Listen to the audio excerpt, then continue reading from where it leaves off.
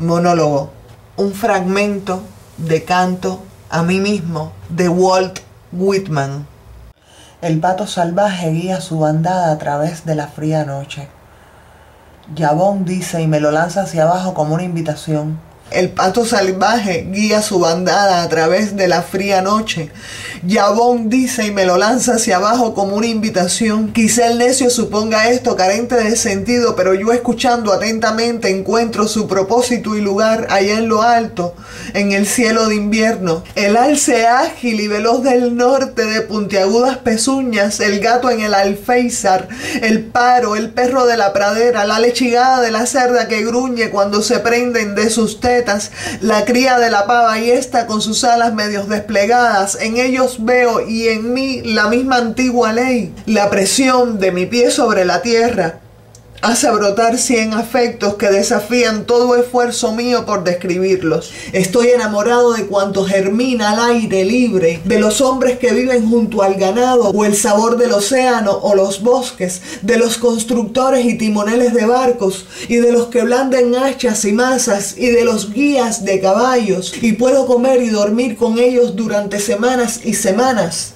Lo más corriente, lo menos caro, lo más cercano y lo más fácil soy yo, yo yendo en busca de mis oportunidades, gastando para obtener grandes beneficios, adornándome para ofrecerme yo mismo al primero que quiera tomarme, sin pedir al cielo que baje según mi capricho, despilfarrándolo libremente siempre. El puro contraalto canta en la tribuna del órgano, el carpintero desbasta su tablón, la lengua de su cepillo silba su desenfrenado chirrido cada vez más agudo, los hijos casados y no casados vuelven al hogar para su cena de acción de gracias. El piloto empuña el timón, tira hacia abajo con fuerte brazo. El arponero permanece erguido en su ballenera. Listos están la lanza y el arpón. El cazador de patos avanza con zancadas calladas y cautelosas. Los diáconos con las manos en cruz son ordenados ante el altar. La hilandera avanza y retrocede con el zumbido de la gran rueca. El granjero se para ante la cerca cuando pasea un domingo de asueto y mira la avena y el centeno. El lunático es llevado por último al asilo, caso confirmado. No dormirá jamás como lo hacía en su camilla en el cuarto de su madre. El tipógrafo de cabeza gris y mejillas sumidas trabaja ante su caja, mastica su tabaco mientras sus ojos se enturbian con el manuscrito. Los miembros deformes están atados a la mesa del cirujano.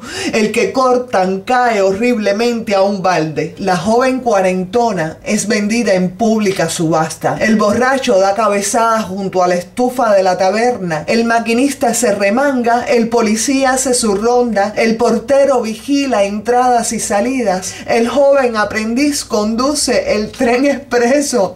Lo amo, aunque no le conozca. El vestizo se ata los cordones de sus botas ligeras para competir en la carrera. La casa de pavos atrae en el oeste a jóvenes y viejos. Unos se apoyan en el fusil y otros se sientan sobre troncos. De la multitud se adelanta el tirador, ocupa su puesto y apunta su escopeta. Los grupos de emigrantes recién llegados cubren el muelle o el malecón mientras los cabezas lanosas cavan en las plantaciones de azúcar. El capataz los vigila desde su montura. El clarinete suena en la sala de baile, corren los caballeros hacia sus parejas y los bailarines se saludan con una reverencia. El joven yace desvelado en la guardilla de techo de cedro y escucha la lluvia musical. El Wolverine pone trampas en el arroyo que ayuda a llenar el hurón. Lescaut envuelta en su manta de ribetes amarillos ofrece en venta mocasines y bolsas de cuentecillas. El experto con los ojos semicerrados y la diada a la cabeza avanza por la exposición mientras los marineros amarran el vapor y echan la pasarela para que desembarquen los pasajeros. La hermanita menor sostiene la madeja mientras la mayor lo ovilla y se de vez en cuando por los nudos. La joven casada hace un año se repone y está feliz por haber dado a luz hace una semana su primer hijo. La muchacha yankee de cabellos cuidados trabaja en su máquina de coser, en la fábrica o en el molino. El camionero se apoya en su pisón de doble mango. El lápiz del periodista vuela deprisa sobre el cuaderno de notas. El pintor de rótulos hace letras de azul y oro. El muchacho del canal corre por el camino de sirga. El tenedor de libros hace cuentas en su pupitre, el zapatero encera su hilo, el director marca el compás para la banda y todos los músicos lo siguen. El niño es bautizado, el converso hace su primera profesión de fe, la regata se despliega por la bahía, la carrera ha empezado como refulgen las velas blancas. El pastor que vigila su reata silba a las que quieren desviarse. El buhonero suda con su fardo al hombro, el comprador regateando por unos céntimos. La novia alisa su vestido blanco, el minutero del reloj se mueve lento. El comedor de opio se reclina con la cabeza rígida y los labios entreabiertos. La prostituta deja arrastrar su chal, su sombrero fluctúa sobre su cuello vacilante y granujiento. La multitud ríe con sus obscenidades los hombres se burlan de ella y hace guiños, desdichada. Yo no me río de tus juramentos ni me burlo de ti.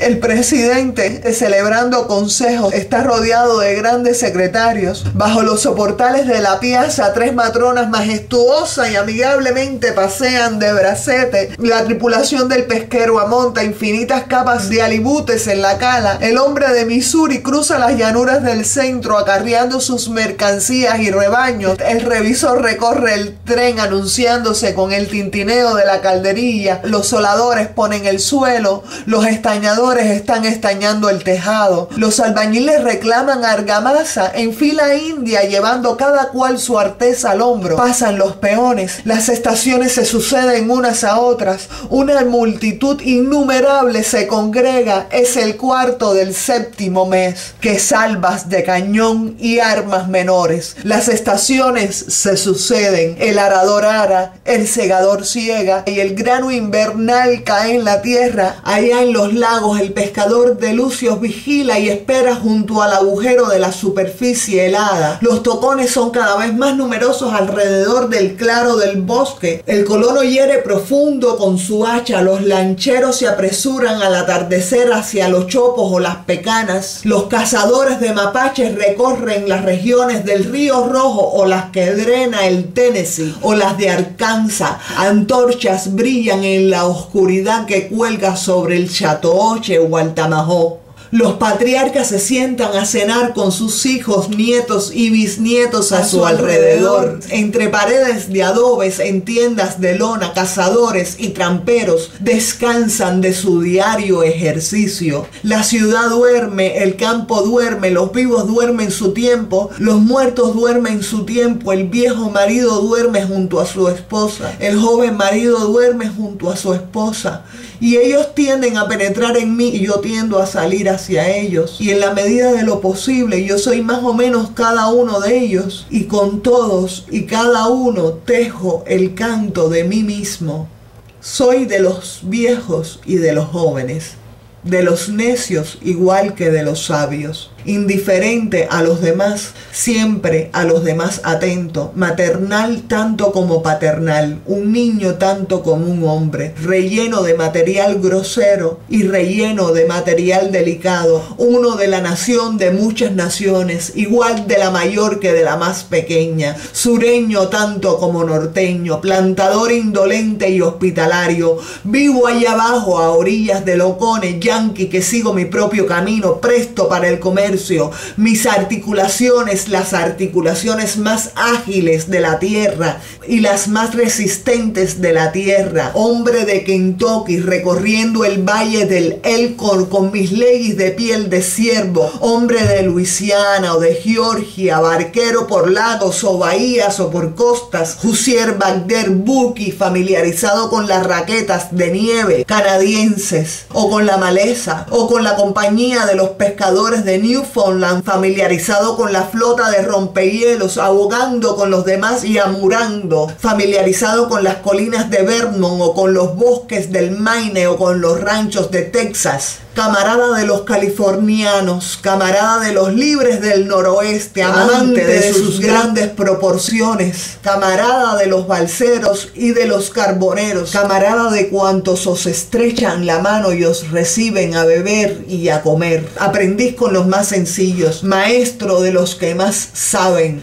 novicio que comienza y sin embargo experto en miriadas de estaciones, de todos los matices y castas soy, de todo rango y religión, granjero, mecánico, artista, caballero, marinero, cuáquero, preso, chulo, pendenciero, abogado, médico, cura. Resisto cualquier cosa mejor que mi propia diversidad. Respiro el aire pero lo dejo entero tras de mí y no soy presuntuoso y estoy en mi sitio. La polilla y las huevas de pez están en su sitio. Los brillantes soles que veo y los oscuros soles que no puedo ver están en su sitio. Lo palpable está en su sitio y lo impalpable está en su sitio. Estos son realmente los pensamientos de todos los hombres en toda época y país. No, son, originales, míos. Si no son vuestros, tanto como míos, nada o casi nada son. Si no son el enigma y la solución del enigma, nada son. Si no están cercanos como remotos, nada son. Esta es la hierba que crece doquiera haya tierra y haya agua. Este es el aire común que baña el globo. Con fuerte música llego con mis trompetas y tambores. No toco solo marchas para vencedores reconocidos. Toco marcha para los vencidos, para los muertos.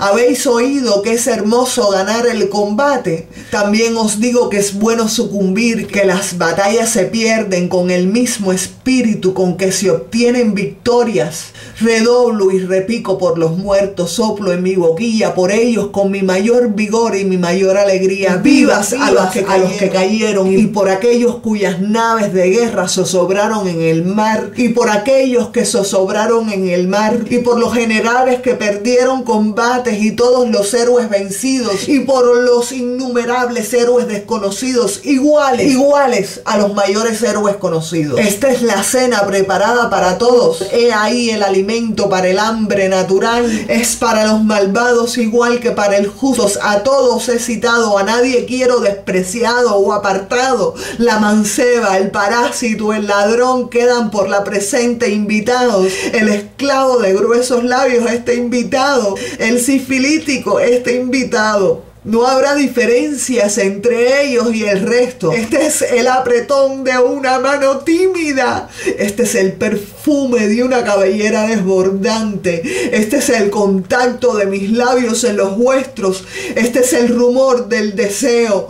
Esta es la lejana profundidad y la altura reflejando mi cara. Esta es la reflexiva fusión en mí mismo y de nuevo la expansión. ¿Sospecháis en mí algún propósito oscuro?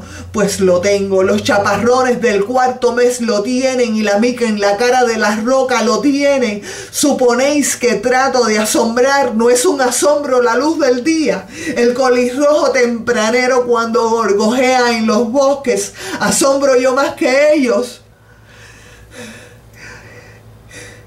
Ahora digo cosas en confidencia. No podría decírselas a todos pero a ti te las diré.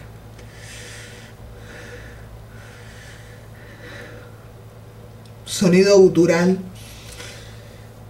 Conectado el movimiento, el movimiento del cuerpo con, la emoción, creada para cortar la emoción. Oh. Es importante cortar la emoción después de hacer los ejercicios. No podemos quedarnos enganchados a ninguna sensación pues no podríamos sentir otras y puede provocarnos enfermedades. Entonces cortamos la emoción generada. ¡Oh!